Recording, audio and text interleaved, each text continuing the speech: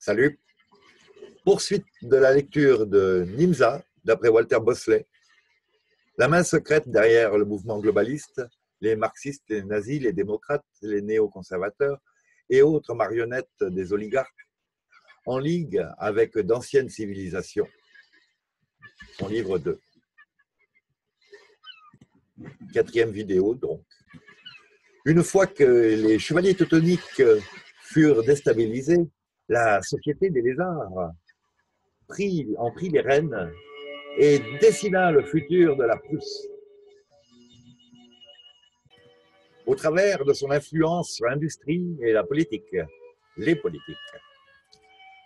Mais au début euh, du XVe siècle, les lézards s'étaient fait des ennemis et furent mis hors la loi par le pape euh, Grégoire XII et l'empereur Sigismond.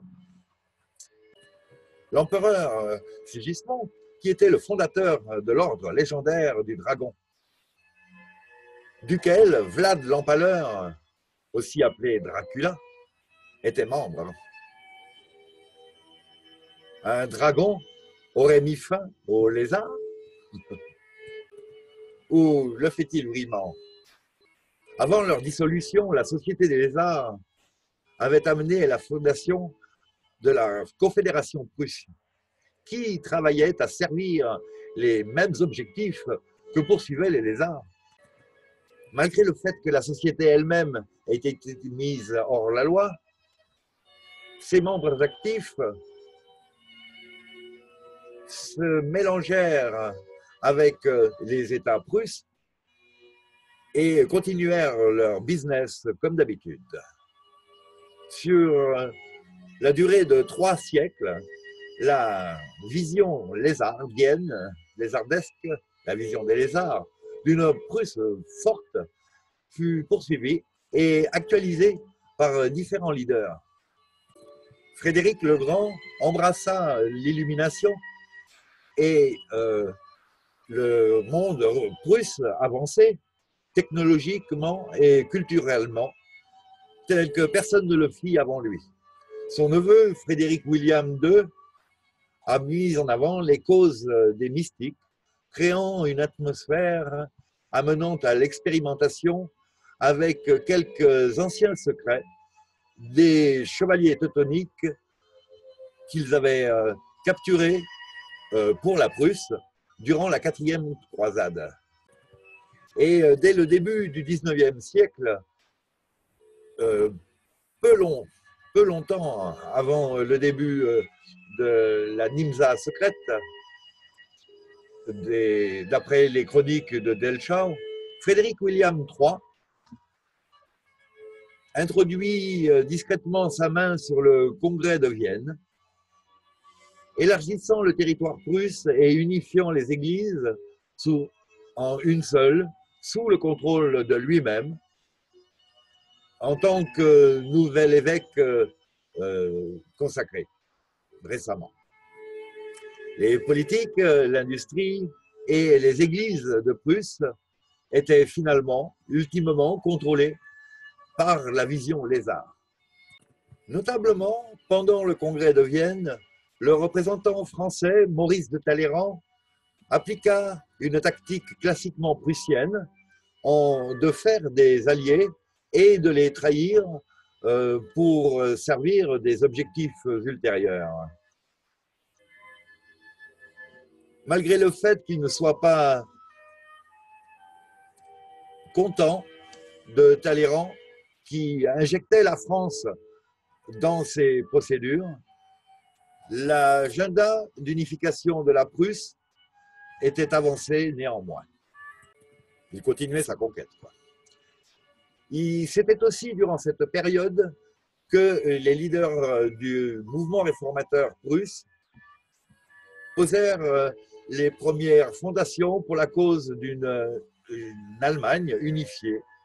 Parmi ces hommes, il y avait Wilhelm de Humboldt, qui était le frère fameux, dont le frère fameux Alexandre avait fait des découvertes concernant le champ magnétique de la Terre et amenant peut-être un grand bénéfice aux constructeurs des euh, airships, des avions du NIMSA. Airship, euh, navire aérien. Je suis convaincu que quelque part entre le règne de Frédéric le Grand et le congrès de Vienne, l'organisation prusse connue de Delchaux sous le nom de NIMSA avait commencé à prendre forme et avait commencé à lancer des opérations telles que suivre le congrès, ou bien telles que par la suite le congrès avait poursuivi. Je suspecte ces fondateurs euh, d'être des membres euh, très secrets de la Société des lézards. Je suis aussi convaincu que les origines actuelles d'aujourd'hui de l'état profond peuvent être trouvées dans euh, la couverture discrète de cette société secrète des lézards, dans sa structure de leadership du début du 19e siècle parmi les États prusses. Encore, on pourra continuer ça euh, aujourd'hui avec euh, la puissance, euh, je pense, de la Deutsche Bank ou d'autres organismes financiers au niveau supérieur dont on entend fort peu parler. Ainsi que je l'ai décrit dans mon livre Origine, l'émergence au XIXe siècle de la civilisation échappée du XXe siècle. Les objectifs d'une Allemagne unifiée amenaient les activités politiques et industrielles des États prusses, conduisaient les politiques industrielles et les activités diverses en fait des États prusses. La main lourde de la société des lézards avait pris avantage que tous les Prussiens avait gagné en industrie et en technologie, en fait, pour le bénéfice de Nimza. Je propose que cette société a utilisé l'unification elle-même pour euh, disperser sa présence globalement et euh, amenant ainsi les premières fondations du futur. Ce fut pendant le 19e siècle que je propose que le NIMSA a émergé en tant que. Donc, il a écrit là NJMZA,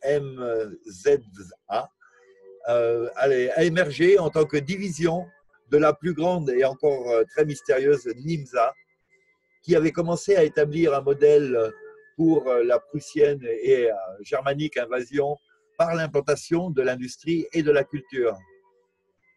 Ce qui serait par la suite proposé par Almar Chart, excusez-moi pour la prononciation, A-J-A-L-M-A-R, Chart, S-C-H-A-C-H-T, pendant la période nazie, contre euh, le service euh, des objectifs de la société Lézard Nimza.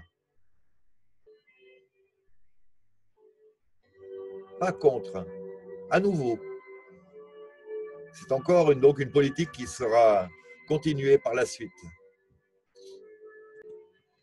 Tel que Walter Bosley l'a déjà décrit euh, dans ses spéculations sur les activités au XIXe siècle de la Nimza Njimja, dans son livre Origine, nous devons par la suite avancer au XXe siècle et euh, examiner comment est-ce que les lizards prusses de Nimza ont conquis le monde libre. Et je vais enchaîner directement euh, la quatrième partie, qui est assez courte aussi. Donc, euh, la troisième vidéo.